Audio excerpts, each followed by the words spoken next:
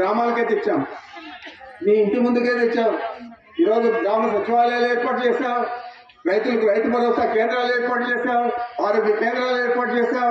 ఇవన్నీ కూడా సులభతరంగా మీ ఇంటికి ఖర్చు లేకుండా మీకు అందరికీ కూడా అన్ని ప్రభుత్వ పథకాలు కానీ అభివృద్ధి కార్యక్రమాలు కానీ అందజేయాలని చెప్పి ఆలోచనతో ఈ గ్రామ స్వరాజ్యం పేరుతో మనం గాంధీ గారు కళ్ళ కన్నా గ్రామ స్వరాజ్యాన్ని జగన్మోహన్ రెడ్డి గారు మన గ్రామాలకి తీసుకొచ్చారనేది మీరు గుర్తు పెట్టుకోవాలని అడుగుతామని నేను తెలియజేస్తాను.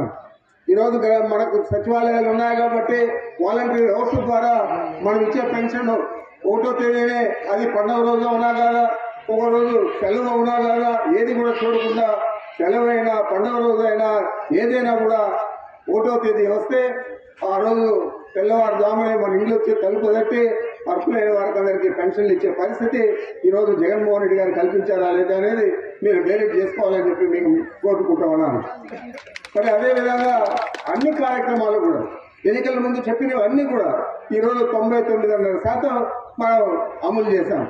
గతంలో ఏ ముఖ్యమంత్రి కూడా యాభై సంవత్సరాల నుంచి ఉన్న రాజకీయాల్లో మేము మాకు తెలుసు ఏ ముఖ్యమంత్రి కూడా ఎన్నికల హామీలు నెరవేర్చిన దాఖలాలు పూర్తి స్థాయిలో ఈ రాష్ట్రంలోనే కాదు భారతదేశంలో ఎక్కడ కూడా లేవు.